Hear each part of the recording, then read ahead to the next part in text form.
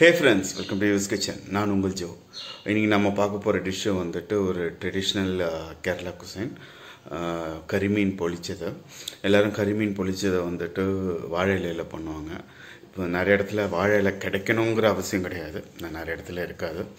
So அதை நம்ம தவால் எப்படி பண்ணலாம்? அந்த டேஸ்ட் அந்த ஒரு ஃப்ளேவர் கொஞ்சம் டிஃப்ரெண்ட்டாக இருக்கும். பட் அந்த கரிமீன் பொழிச்சது மாதிரி எப்படி பண்ணலாம் அப்படிங்கிறது நம்ம பார்க்கலாம்.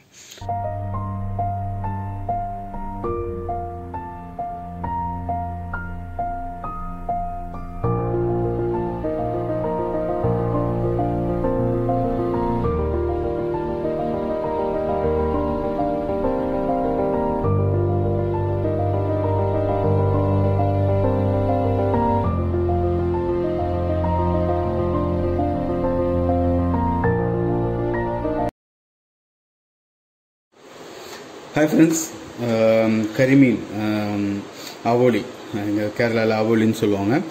ஸோ அதை மூணு நான் க்ளீன் பண்ணி இந்த மாதிரி கட் பண்ணி வச்சுருக்கேன். ஃபஸ்ட்டு இதுக்கு நம்ம மேரினேட் பண்ணலாம். அதுக்கு தேவையான இன்க்ரீடியன்ஸ் நம்ம பார்க்கலாம். மேரினேஷனுக்கு ரெண்டு tablespoon chilli powder chilli powder ஜாஸ்தி ஆனாலும் பரவாயில்ல. நம்ம அந்த நம்ம கறிக்கு நம்ம யூஸ் பண்ணிக்கலாம். ஸோ மேரினேஷனுக்கு அது போட்டுருங்க. அப்புறம் ஒரு half a teaspoon pepper powder half a teaspoon turmeric powder ஒரு டேபிள் ஸ்பூன் கொரியாண்டர் பவுடர் அப்புறம் ஒரு ஆஃப் லெமன்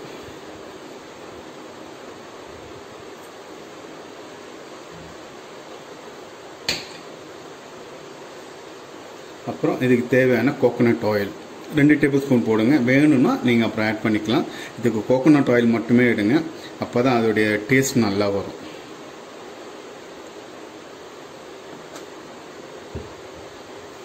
இப்படி நம்ம மிக்ஸ் பண்ணுவோம்.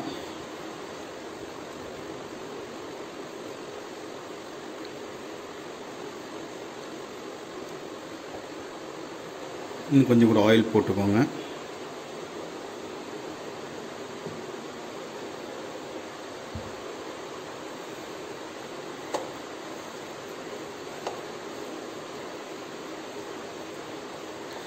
சில பேர் தண்ணி ஆட் பண்ணுவாங்க. தண்ணி கூட ஆட் பண்ணலாம். நான் எதுக்கு அந்த ஆயில் இந்த இது ஆட் பண்ணுறேன் அப்படின்னா கொஞ்சம் அந்த அந்த என்னன்னு சொல்கிறது எல்லோரும் தண்ணி ஆட் பண்ணுவாங்க. நான் வந்துட்டு கோகோனட் ஆயில் எடுத்தேன். ஏன்னா அதோடைய டேஸ்ட்டு அதோடைய ஃப்ளேவர் கொஞ்சம் டிஃப்ரெண்ட் நல்லாயிருக்கும் ஓகேங்களா இந்த டைமில் தேவையான அளவு உப்பு.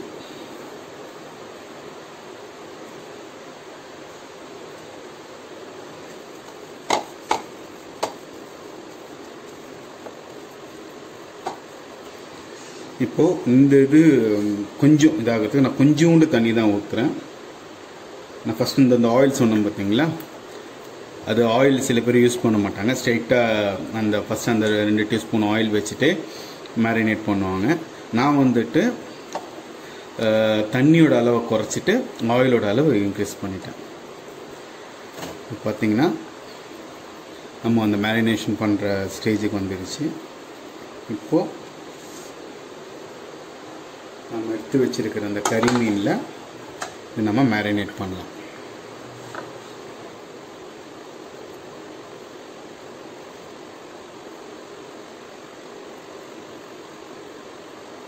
சப்போஸ் மேரினேட் நல்ல இதாக இருந்துச்சுன்னா கொஞ்சோண்டு தண்ணி லைட்டாக லைட்டாக தண்ணி போட்டுட்டு இன்னும் கொஞ்சம் கூட மிக்ஸ் பண்ணிக்கோங்க. ஸோ அந்த தண்ணியோட இதை எடுத்துகிட்டு ஃபுல்லாக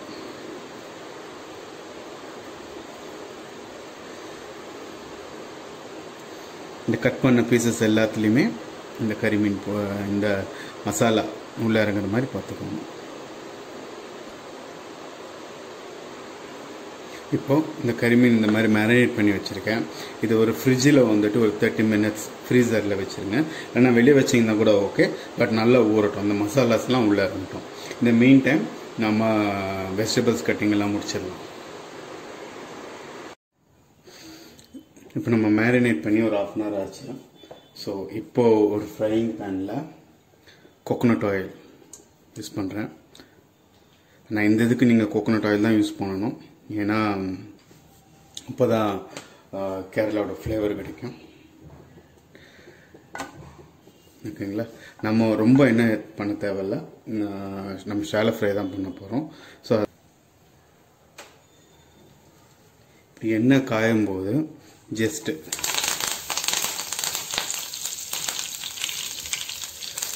கருவேப்பிலை போடுங்க கறி லீவ்ஸை ஏன்னா அதோட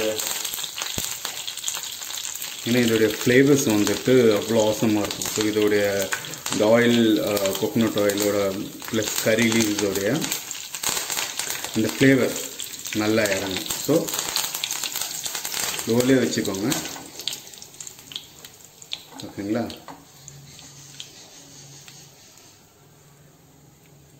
இப்போ நம்ம எடுத்து வச்சிருக்கிற கறி மீனை ஃப்ரை பண்ண போகிறோம்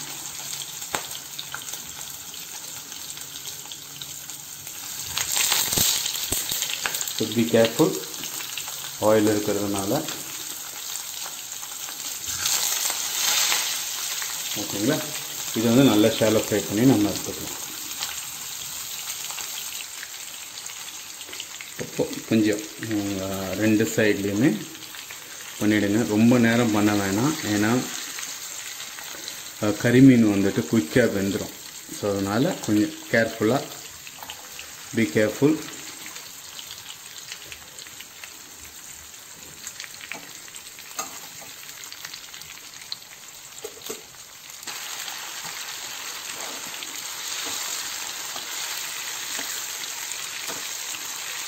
கொஞ்சம் அதில் அப்படியே ஃப்ரை பண்ணி நல்லா குக்காக ஆகட்டும்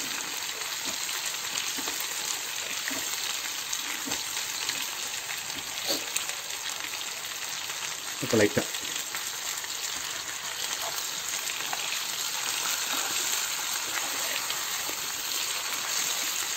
நல்லா திட்டு வைக்கணும் ரெடி குக்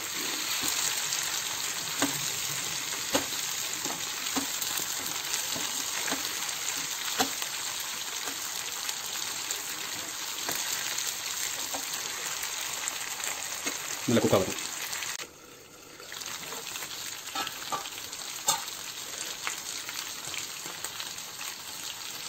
பார்த்திங்கன்னா கறிமீன் நல்ல ஃப்ரை ஆகிடுச்சு ஸோ இது நாம் தனியாக எடுத்து வச்சுக்கலாம். ஓகேங்களா?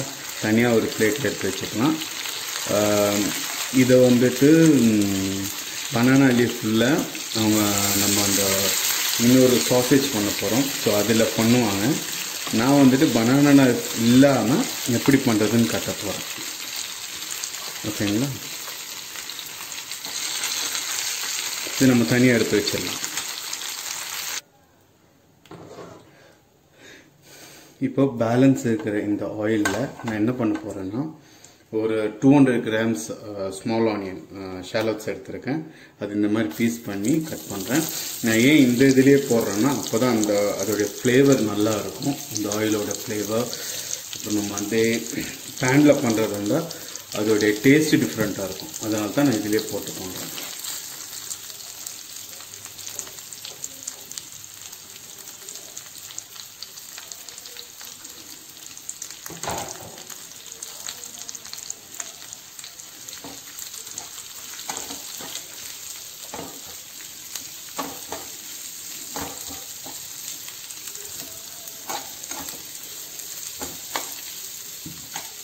இது நல்ல கோல்டன் ஃப்ரை ஆகட்டும்.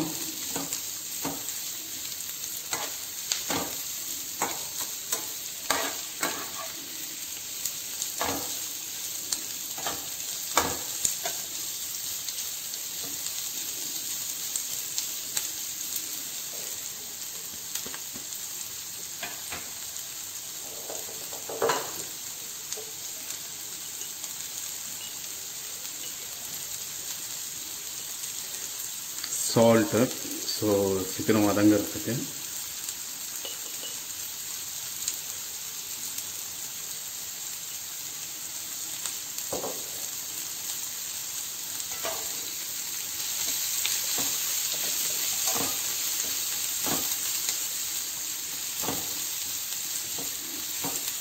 இப்போ சில பேர் இந்த இந்த ஆயில் யூஸ் பண்ண மாட்டாங்க.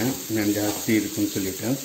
பட் நான் வந்துட்டு இந்த இதில் யூஸ் பண்ண சொல்லுவேன். ஏன்னா அந்த ஆயிலில் அந்த ஃபிஷ்ஷோட ஃப்ளேவர் எல்லாம் இறங்கியிருக்கும். ப்ளஸ் நம்ம அந்த நம்ம யூஸ் பண்ண மசாலாஸோடைய இது ஃப்ளேவர்ஸ் எல்லாம் உள்ளே இறங்கியிருக்கும். ஸோ அதனால் அதோடைய taste and aroma will be completely different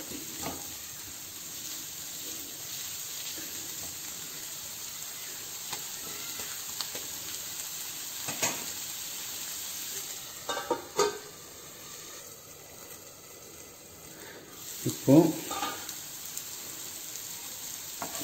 நல்ல ஃப்ரை ஆயிருக்கு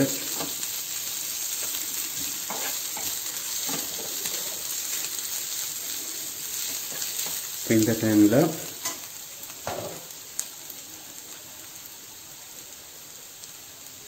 மூணு க்ரீன் சில்லிஸ் இந்த மாதிரி ஸ்லைட் பண்ணி போட்டிருக்கேன்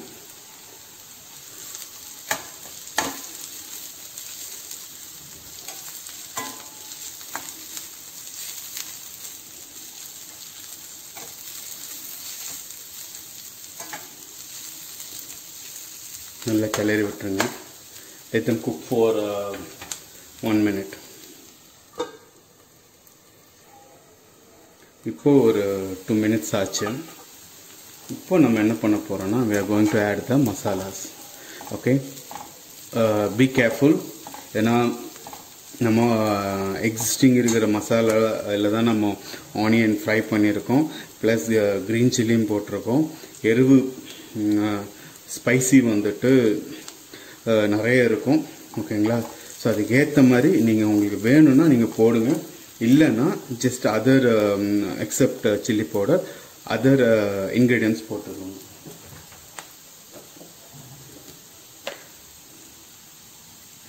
Half tablespoon turmeric powder.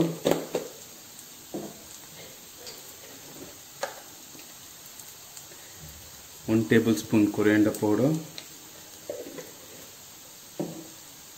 ஏற்கனவே உப்பு போட்டிருக்கோம் ஸோ அதனால் தேவையில்லை.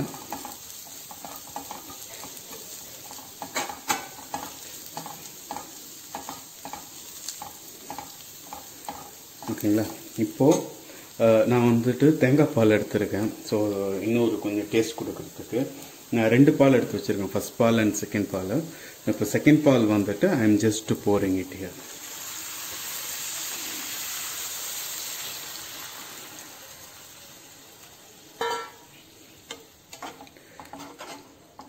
let it uh, cook for uh, 5 to 6 minutes.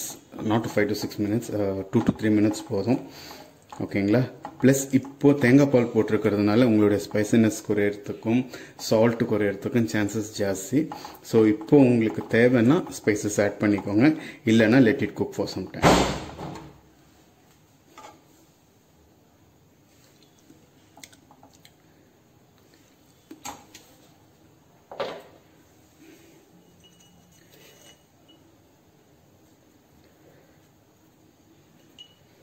எனக்கு கொஞ்சம் உப்பு தேவைப்பட்டது. ஸோ அதனால் டேஸ்ட் பண்ணி பார்த்துட்டு கொஞ்சம் உப்பு போட்டேன். ப்ளஸ் ஸ்பைசியும் தேவைப்பட்டது. ஏன்னா தேங்காய் பாலில் இதோடைய அடுத்து தேங்காய் வந்துட்டு it was so sweet so அதனால் ஸ்பைசஸ் எல்லாமே கம்மி பண்ணிடுச்சு. So I'm just going to put Kashmiri chilli powder so it gives a colour plus little spicy நம்ம இன்னும் கொஞ்சம் கூட ஸ்பைசி ஜாஸ்தியாக போட்டுக்கோங்க. வை பிகாஸ் uh, நம்ம ஃபஸ்ட் பாலும் போட போகிறோம் ஓகே ஸோ அதனால் ஸ்பைசி ஜாஸ்தி போட்டுக்கோங்க ஸ்பைசி ஜாஸ்தி மீன்ஸ் கொஞ்சம் உரைக்கிற மாதிரி.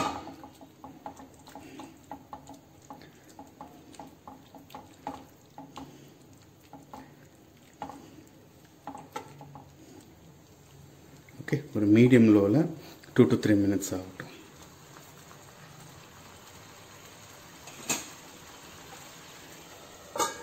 க்ளோஸ் பண்ணி நம்ம ரெடி பண்ணலாம்.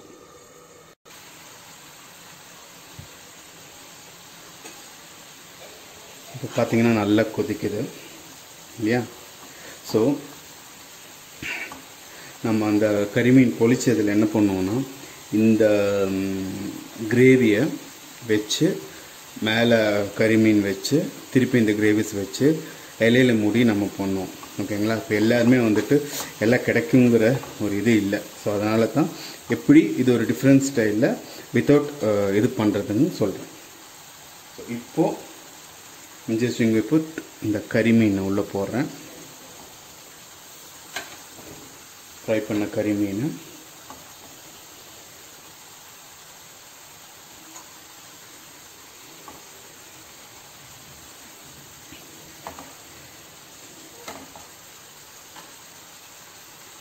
இப்போது நம்ம எடுத்து வச்சிருந்த ஃபஸ்ட்டு தேங்காய் பால்.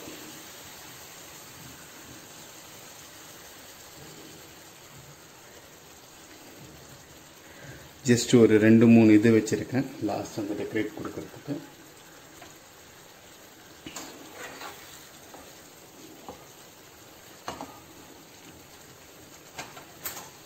இப்போ இந்த கறிமீன் மேலே இந்த கிரேவி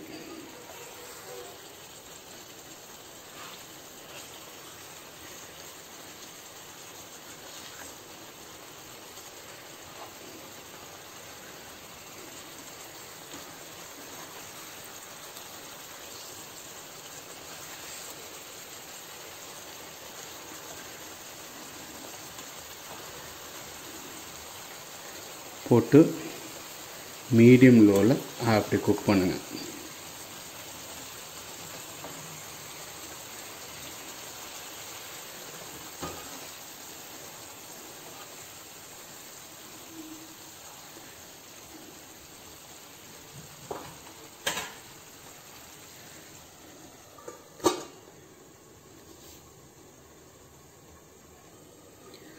பார்க்கலாம். பார்த்தீங்கன்னா அந்த கொக்கோனட் பாலில் அந்த இது கொதி அந்த கொதி பண்ணும்போது கேன் சி எண்ணெய் பிரிஞ்சு வருது பார்க்குறீங்களா?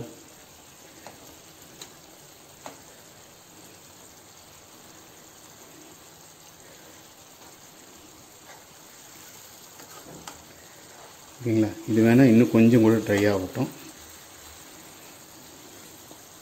வேணும்னா நீங்கள் திருப்பி கூட ஒரு வாட்டி கூட போட்டுக்கலாம். இட் வில் பி ஓசம் ரெண்டு சைடும் அந்த தேங்காய் பாலில் அந்த கிரேவி உள்ளே இறங்குறதுக்கு அது டிஃப்ரெண்ட் டேஸ்ட் கொடுக்கும் உங்களுக்கு.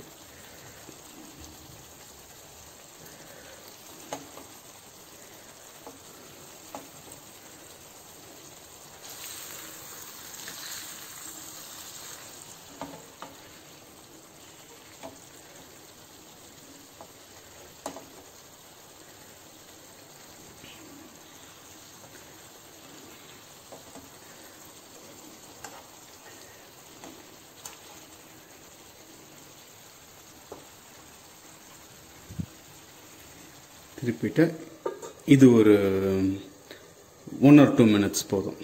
குக் ஆகட்டும். இப்போ பார்க்கலாம். வாவ் பார்த்தீங்கன்னா எண்ணெய்லாம் பிரிஞ்சு வந்திருக்கு பாருங்கள் இப்போ குக் ஆகிடுச்சு இப்போ இதுக்கு மேலே நாம் கறி லீவ்ஸ் போட்டு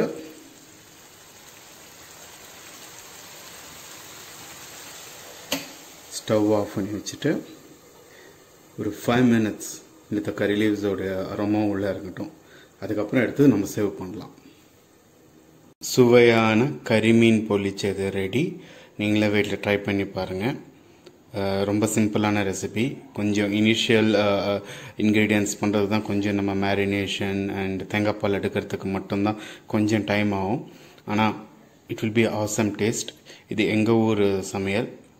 ஸோ கறிமீன் பொழிச்சது உங்களுக்காக. நீங்களும் வீட்டில் ட்ரை பண்ணி பாருங்கள் என்ஜாய் பண்ணி சாப்பிடுங்க.